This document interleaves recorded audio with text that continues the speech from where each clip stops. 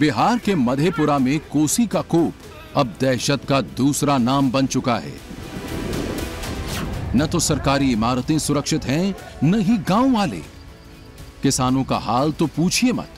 हज़ारों एकड़ धान की फ़सल सैलाब की भीड़ चढ़ चुकी है। इस छोर से उस छोर तक पानी ही पानी दिखाई दे रहा है।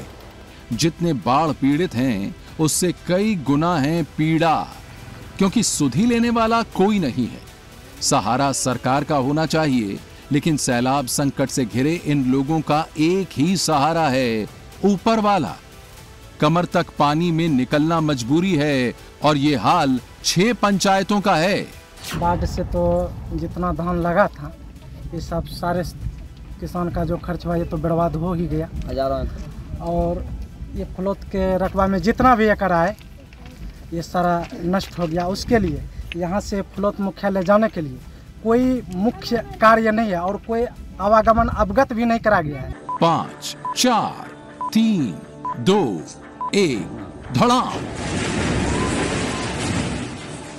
जयपुर के कल्याण जी इलाके में एक तीन मंजिला मकान कुछ यूँ मिट्टी में मिल गया। आप सोच रहे होंगे कि न तो बारिश हो रही है और न ही इलाके में सैलाब संकट के लक्षण दिख रहे हैं। तो फिर मकान के यूँ जमींदोज हो जाने का फ्लड अटैक से क्या रिश्ता है?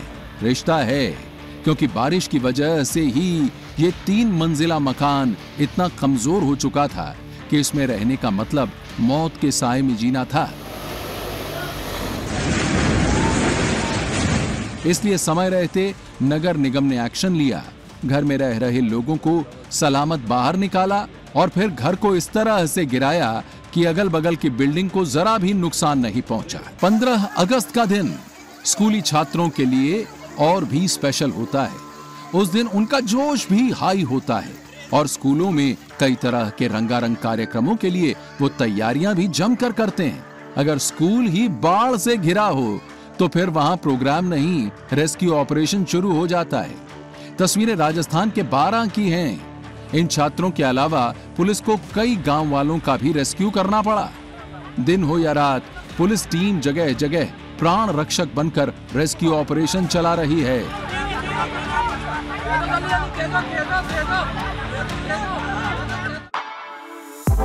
For exclusive and insightful videos, subscribe to our new channel ABP Live Premium